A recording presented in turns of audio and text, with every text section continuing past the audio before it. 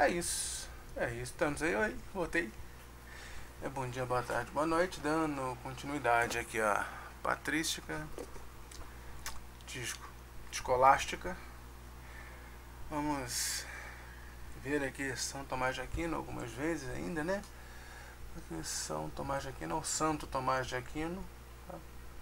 é um cara bem importante na segunda parte da Idade Média. Ele se apoia em Aristóteles, né? Diferente de Santo Agostinho que se apoiava em Platão. Bem, vamos lá, vamos lá, vamos aos slides. É. Uai, opa, estão chegando, estão chegando, estão chegando. Isso aí, pegando o rabiscador, desculpa, eu devia ter feito isso antes, mas... Tá bom, né? Fazer o quê? Santo Tomás de Aquino se inspirou principalmente em Aristóteles, como eu falei agora há pouco, para retornar ao mundo sensível. Sensível aqui é das sensações, tá? Você sente, né? Mesmo acreditando ser Deus o grande Criador. O santo acreditava que o homem podia libertar-se da de pecado que ele carregou durante a Idade Média. Ah, a noção de pecado, na verdade, é, era uma questão relacionada a a ideia que você tinha, né? A noção, realmente. Aí não tem. O próprio texto é transparente, não tem muito. Basicamente não tem muito o que explicar, né? É, é libertar-se da noção de pecado. Não da noção do pecado, na noção de pecado. Né? É diferente. A beleza integra o bem. Né? É aspecto agradável da bondade, pois é agradável a cognição. Essa questão da cognição ela é importante. Aqui ela vai ser falada diversas vezes, é ela que vai definir a, a categoria de determinadas coisas dentro da filosofia né, de Aquino. O belo né, e o bom são a mesma coisa tá? para São Tomás de Aquino. A beleza, né, isso é importante, a beleza é a imitação divina. Portanto, a beleza é a imitação de Deus. Né? Por muito e muito tempo, muitos e muitos anos, milênios, mais de um milênio, posso dizer, porque só a Idade Média tem mil anos, né? A gente vai botar antiguidade, tem em quem eles se apoiam. Milênios por milênios, a beleza está relacionada ao, ao divino, né? ao mundo dos deuses, ao mundo espiritual. Né? Deus é belo.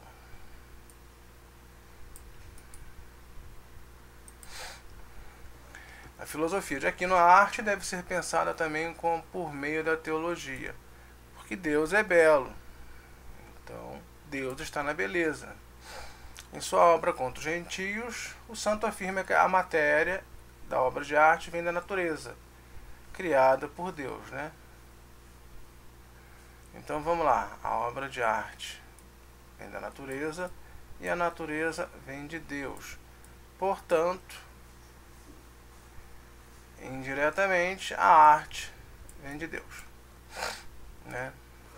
Faz até lembrar aquele triplo afastamento da verdade de, de Santo Agostinho, né? Platão, de Platão, de Platão, né? Porque Deus seria, né? A verdade, a natureza seria o primeiro afastamento da verdade, né? O segundo nível, e a arte seria, né, poderíamos pensar assim, o terceiro afastamento, que é a questão da mimese, né? O original, né?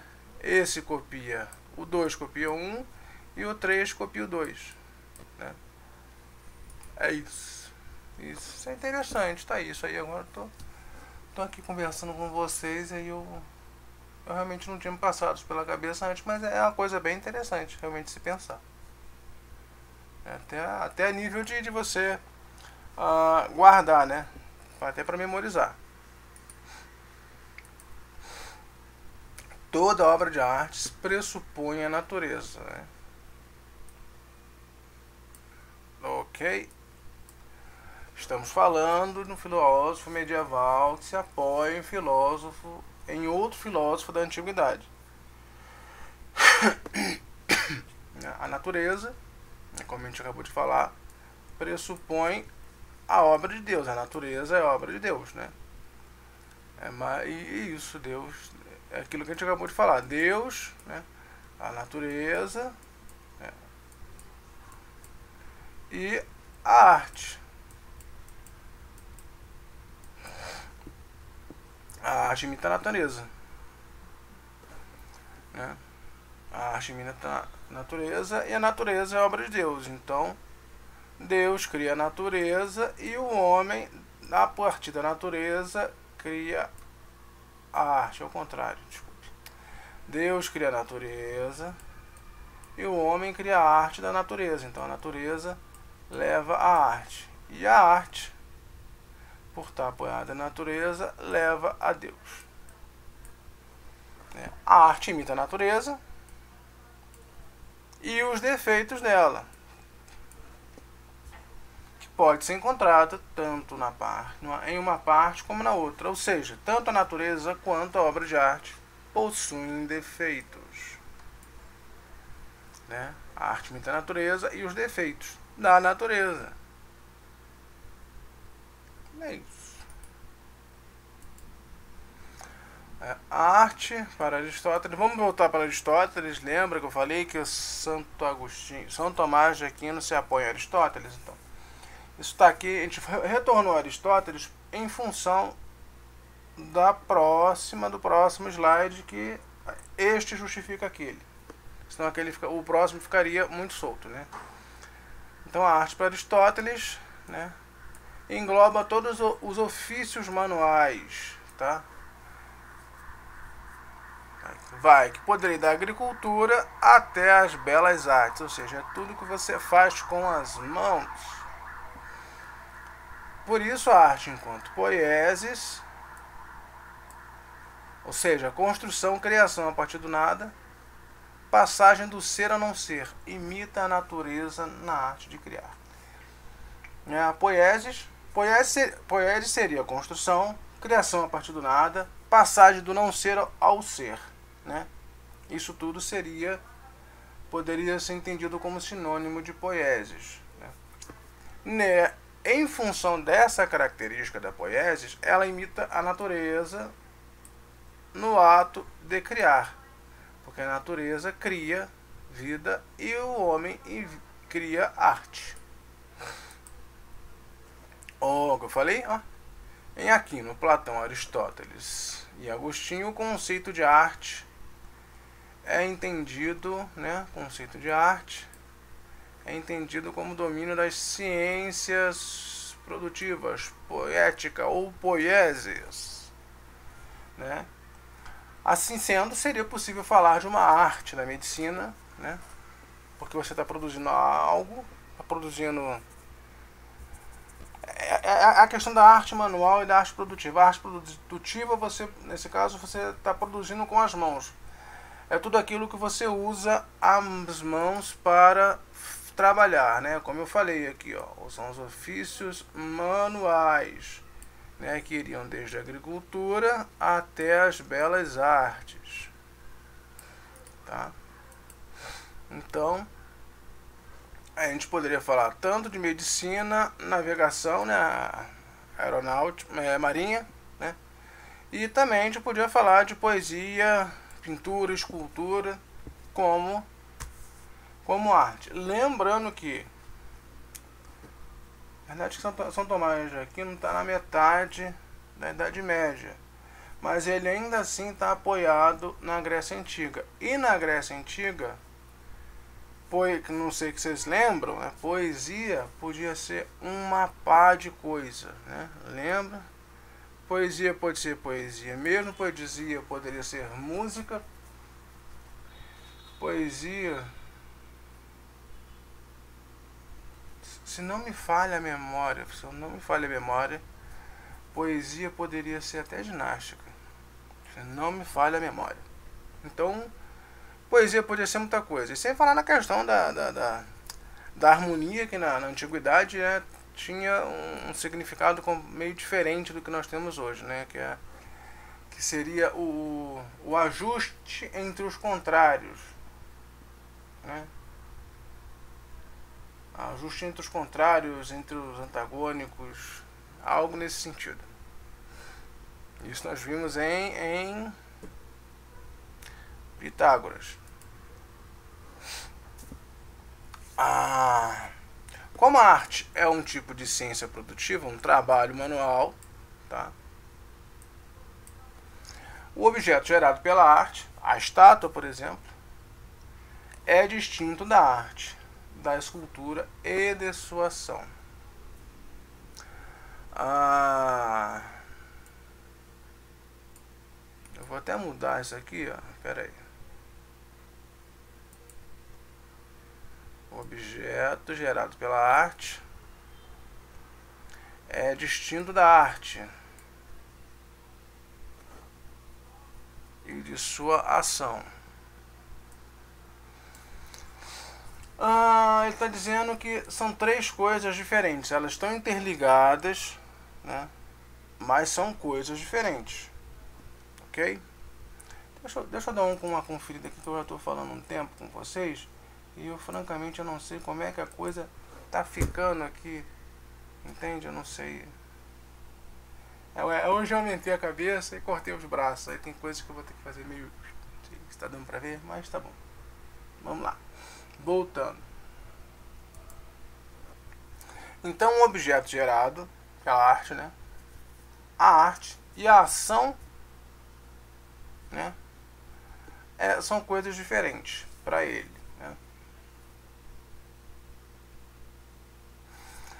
Ah, como o conhecimento específico da arte é prático, né, porque a arte está relacionada ao fazer, lembra que nós vimos? Nós vimos, vou trocar aqui o rabiscador, peraí. É. O conhecimento da arte está relacionado ao prazer. Né? O, desculpe, o conhecimento da arte está, está relacionado à prática, ao fazer, não é ao prazer. Ao fazer. Né? Portanto, ele. O fim da arte seria a fabricação de objetos. Né? Seria fazer um objeto, fazer algo. Né? Então, nesse sentido, um operário é um artista. Né? Lembrando que a arte aqui tem um, um, sentido bem amplo, né? Vamos voltar lá, como a gente falou. Aqui, ó. A arte está relacionada aos ofícios manuais. Ok. Ah, um pedreiro que levanta um, uma parede é, é um artista. Porque a arte está relacionada aos ofícios manuais. Né? Ele está fabricando algo. No entanto, para Aquino, tudo está a serviço do homem. Né? O fim, né? A, o fim, a atividade artística, não é o fim último, pois não é possível que essa atividade seja a felicidade última do homem. Assim sendo, a felicidade não pode se encontrar na arte.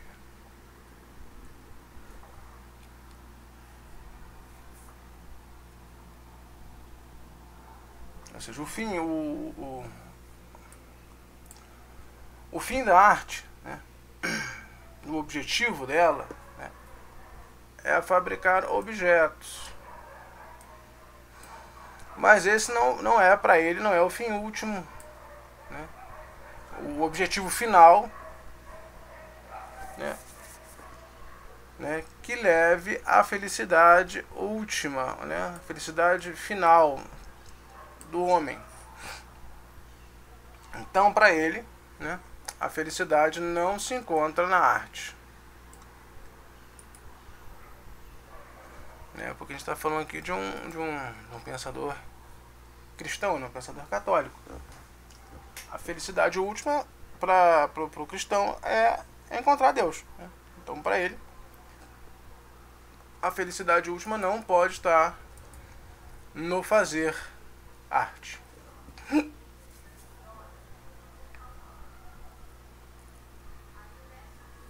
Ah, em alguns momentos aqui, aqui ele, ele fala sobre a beleza e a virtude, sobre o belo e o bom. Isso na obra Suma Teológica, que também é um, é um livrão. Né? Para ele, Aquino, o belo é a mesma coisa que bom. A diferença é apenas racional. Né? Lembra que eu falei lá em cima sobre algo nesse sentido, sobre a cognição, a compreensão?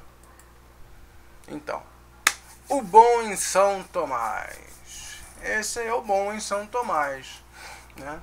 Provavelmente ninguém está entendendo nada, mas vocês vão entender aí futuramente. Aliás, tem alguns conceitos que provavelmente vão ficar meio meio obscuros a princípio. Mas, guardem, guardem, as, guardem as ideias no coraçãozinho de vocês. E aí, com o tempo, com o passar dos, da, das, das aulas, vocês vão entender um pouquinho melhor, porque eu vou dar mais exemplos. Né? Primeiro, tenta guardar as ideias, o conceito. Então, né? Qual é o conceito? O bom, o bom, o bom. O que é o bom em São Tomás de Aquino? O bom é desejado pelos seres, né? Ele traz consigo o bom, a ideia de apetite, né? Ó. Apetite. Traz a ideia de apetite. Ó. Frutas. Fruta é bom, não é bom? Fruta é algo bom.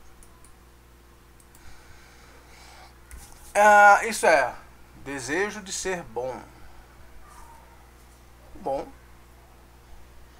não é bom? Você não tem desejo de ser bom? Desejo de, né?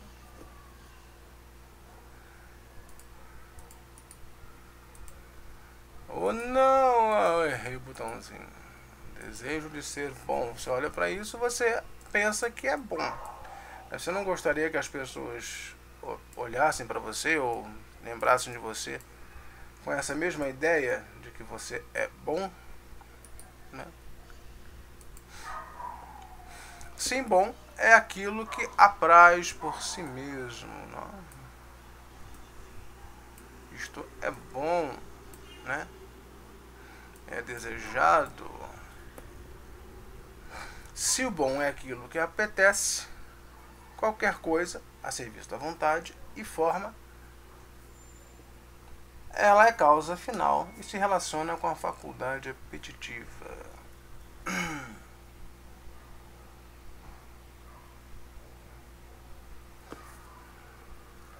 Se o bom é aquilo que apetece, qualquer coisa e forma, ele é a causa final. Né? O bom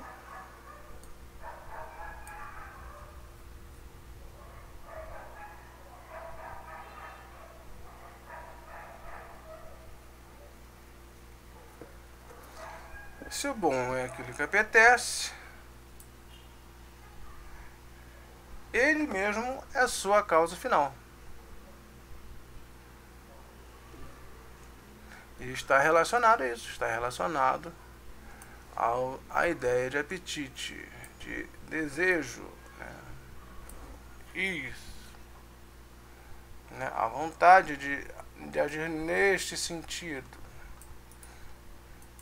E aqui nós vemos o belo, nós vimos o bom e agora nós vamos ver o belo. Né? O que é o belo? É, o pessoal quando fala do belo bota o cantor, mas eu resolvi não botar o cantor porque tem mais, faz mais sentido aqui eu colocar esse quadro. Inclusive eu coloquei de fruta justamente para para uh, mostrar a diferença do bom e do belo em São Tomás de Aquino uh, no mesmo, digamos assim, na mesma paisagem. Né? Porque no bom nós temos frutas. E no belo nós também temos frutas. Então, vamos ver o que é o belo e o que, é que a fruta tem a ver com isso. Ah, o belo. O bom é só o apetite, é correto? O belo, o belo indica que esse apetite está voltado para o conhecimento de algo, entendeu? Essa é a diferença. O belo para Santo São Tomás de Aquino está relacionado ao conhecimento, né? Aquilo que satisfaz a percepção, não apenas o desejo, né? O belo acrescenta a ideia, acrescenta ao bom a ideia de relação com virtude. O belo está relacionado à virtude. Se o belo é aquilo que apraz a vista, serviço a serviço da razão, né? razão, ele está relacionado à faculdade cognitiva. Okay? O belo está ligado ao pensamento. Não, filhinho, é, é esse não. Né? Tá, mas o que é que o quadro de fruta, qual a diferença do quadro de fruta pro pro monte de fruta lá organizado? Tá tudo organizado, não tá? De certa forma tá tudo organizado. Entretanto, Entretanto, você precisa, né, de um pouco mais de como eu poderia dizer,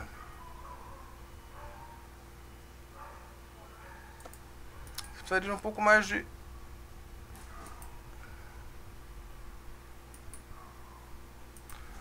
um pouco mais de conhecimento, um pouco mais de conhecimento para produzir essa tela.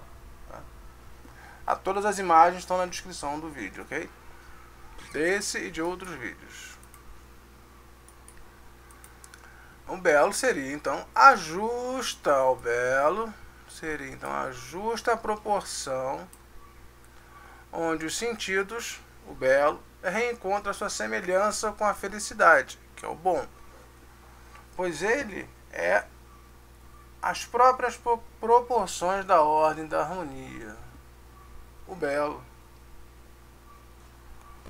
Pois o belo é racional. Né? É isso. Ok, ó. Isso aqui é uma. Isso é um trechinho do próprio santo. O belo seria a justa proporção, né? Proporção, proporcional, tá tudo equilibrado onde os sentidos, né, que é o belo, reencontram sua semelhança com a felicidade, que é o bom, né? A felicidade é algo desejável, as pessoas desejam a felicidade. Ele é, é o encontro, né, do bom e do belo, pois ele é a própria relação de ordem, de harmonia. Para Aquino, a beleza das criaturas nada mais é do que a semelhança da beleza divina. A beleza das criaturas é a beleza divina, participada nas coisas. A bondade em São Tomás. Assim, um atributo, a beleza, está ligado a outro, a bondade. Aqui não admite que a beleza e a bondade podem estar não somente nas formas e nas ideias, né? mas também na natureza e nos seres. Pois para as ideias abstratas, pois as ideias abstratas são princípios causadores tanto da realidade, como defendida por Platão, como da matéria, conforme Aristóteles. Tá? Importante aqui, a princípio, é isso. A beleza está ligada à bondade. Tá? A beleza e a bondade estão também na natureza e nos seres. Aspectos em São Tomás. O aspecto ou conhecimento, né, que a gente falou lá em cima, né, que o conhecimento está relacionado lá a obra de arte, é percebido pelos sentidos da visão e da audição, chamados de ministros da razão, que são faculdades de conhecer. Tá?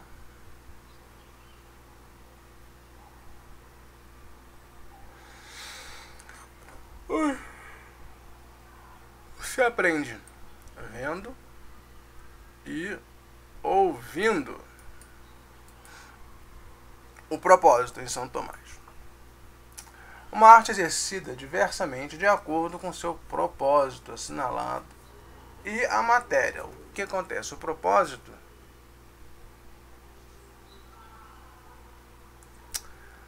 a arte ela está relacionada, né? Ela é exercida, você faz em função do propósito e do material que você está trabalhando. As ideias abstratas seriam substâncias simples.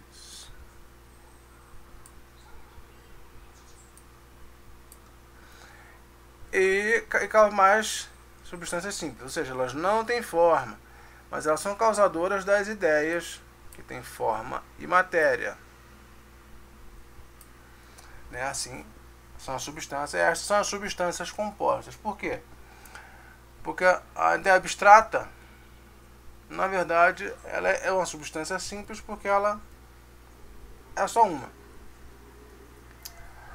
As ideias tem, as, a, a, as ideias que têm forma e matéria, né, elas são substâncias compostas de que? De dois, de dois, de duas coisas, né, forma e matéria.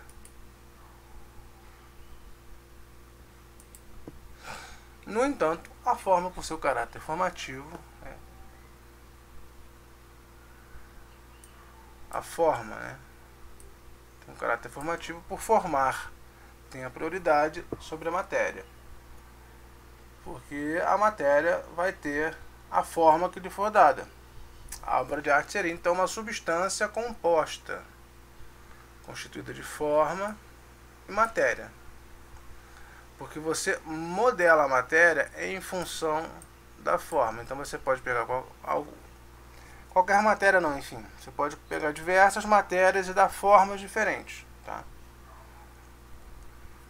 Por isso que a forma né, tem prioridade sobre a matéria.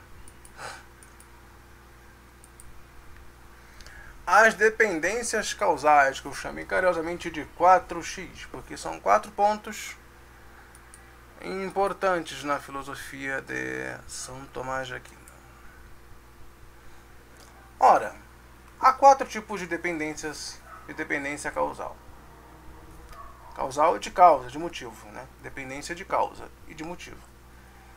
Por um ser, pois um ser pode ser considerado, primeiro, em si mesmo, segundo, em sua constituição, terceiro, em sua origem, ou quarto, em sua atividade. Logo, há também quatro tipos de causas, as quais tradicionalmente são chamadas de causa material, causa formal, causa eficiente e causa final. Né? Separado, né? Vamos lá.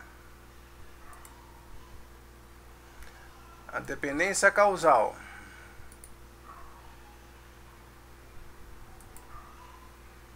Né? Você tem em si mesmo, nele mesmo, na constituição dele, na origem dele e na atividade dele. Ok? Agora nós vamos ver o que são chamados de causa tradicionalmente. Tá?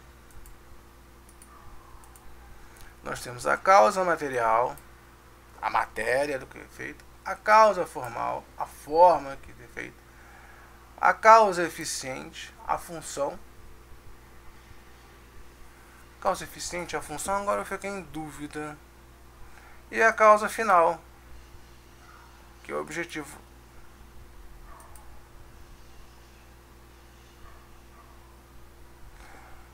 Constituição. Olha, eu fiquei. Agora eu fiquei em dúvida aqui em relação à causa eficiente. Espera aí, me dá um instantinho.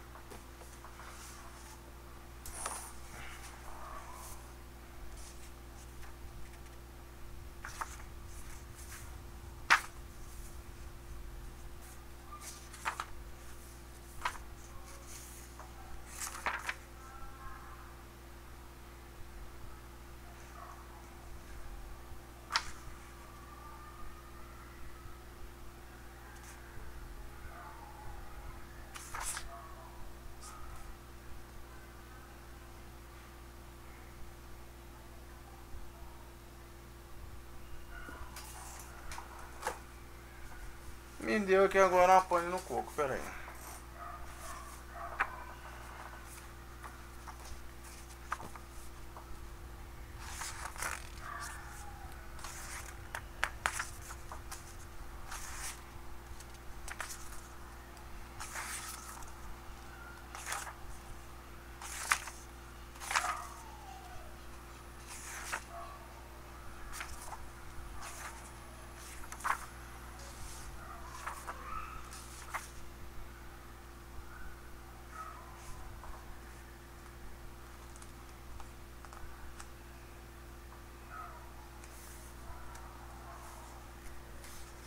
Instante, só um instante.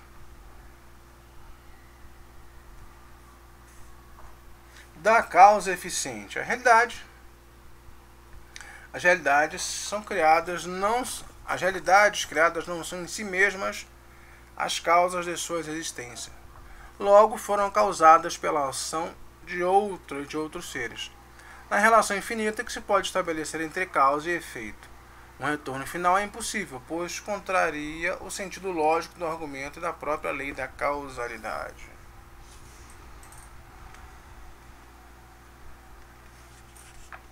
Argumentação lógica.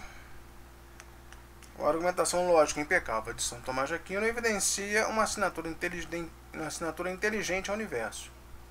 É. A lei da causalidade denota inteligência, ordem e organização. Ora, se existe uma ordem, é necessário que exista um ordenador. A lei da causalidade, assim como as demais leis que regem a natureza e o universo. Deus seria a causa última, a causa primeira, ainda a causa encausada.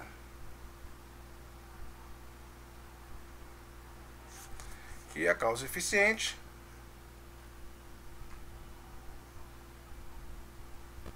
A causa eficiente é Deus.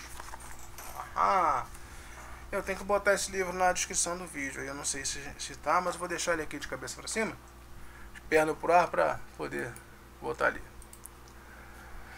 Constituição. Com efeito, do ponto de vista da Constituição, o ser corporal resulta da, de duas causas: aquilo que é feito, aquilo de que é feito, né? Mãe. Constituição. Com, efe, com efeito, do ponto de vista da Constituição, o ser corporal resulta de duas causas. Né? Aqui nós vamos ter mais duas divisões que vão resultar em quatro. Né? A Constituição se divide em dois. Ok. Vai aparecer um algarismo romano, mas deixa pra lá.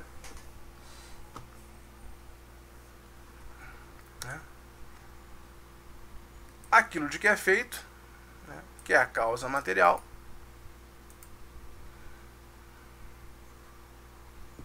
e o que determina a matéria para uma espécie, que é a causa formal. Determina a matéria para uma espécie dada. Né? Isso aqui, né? Isso aqui é o 2. Agora vamos para origem. O que, que nós temos de origem? Também a mesma coisa. 1 um, e 2. Todo ser depende de uma causa que, por uma ação física, confere-lhe a existir em ato. Ou seja, temos aí a causa eficiente aqui em São Tomás de Aquino, é Deus.